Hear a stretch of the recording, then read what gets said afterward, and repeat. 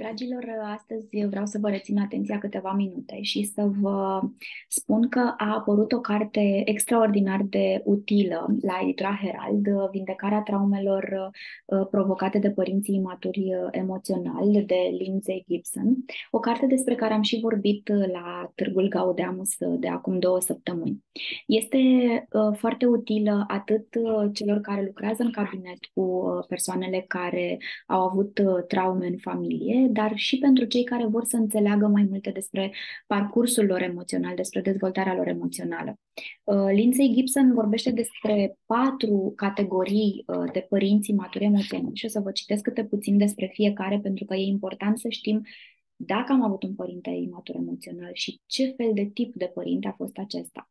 Uh, ea vorbește despre părinții emotivi, acei părinți care se lasă foarte ușor copleșiți de tot ceea ce se întâmplă în viața lor și tot ceea ce se petrece e așa ca un fel de sfârșit uh, uh, al lumii și ei devin extrem de reactivi și um, cumva se poartă cu copiii, uh, își văd copiii fie ca salvator atunci când le împlinesc dorințele, fie ca un,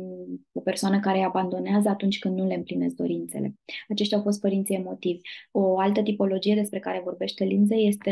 Uh, vorba despre părinții exigenți. Acești părinți sunt acei părinți uh, autoritari, părinții care sunt ocupați în permanență. Um, ei își gestionează familia ca un fel de proiect limită și cumva nu au atenție către latura emoțională și nevoile afective ale copiilor lor.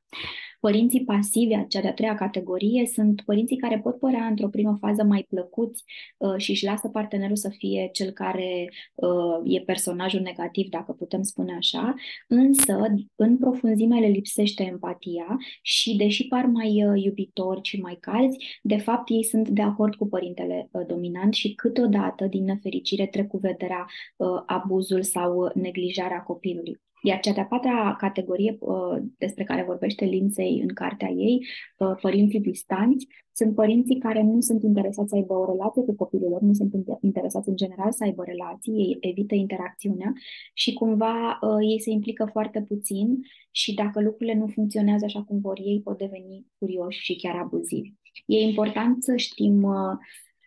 să ne dăm seama în ce fel de familie am trăit, uh, dacă am avut parte sau nu de părinți maturi emoțional, pentru că ei uh, Lindsay Gibson vine în această carte și cu tot felul de soluții, astfel încât să nu mai fim dominați sau subjugați de acest uh, tip de părinte. Și mai mult decât atât, um, ce spune ea și este clar și evident, e faptul că dacă am avut un astfel de tip de părinte, putem să eșuăm sau să fim în relații cu persoane imature emoționale care ne subjugă, care ne domină, care ne fac să ne simțim vinovați pe același tipar pe care și aceste patru categorii de părinți uh, imaturi emoțional ne-au făcut să ne simțim. Așadar, uh, vă recomand din suflet această carte a lui Lindsay Gibson de la editura Herald, uh, tocmai pentru a înțelege dacă ați avut un astfel de părinte sau dacă sunteți uh, uh, psiholog și lucrați în cabinet cu oameni care au avut astfel de traume, pentru că este o carte foarte, foarte utilă.